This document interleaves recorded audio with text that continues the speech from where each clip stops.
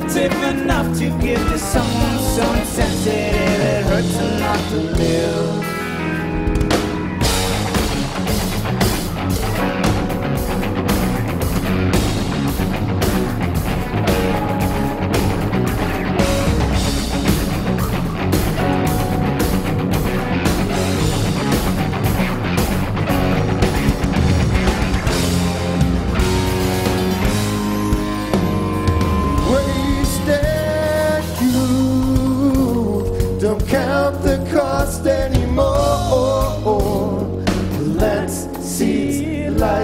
fucking state, right? And reconcile them all.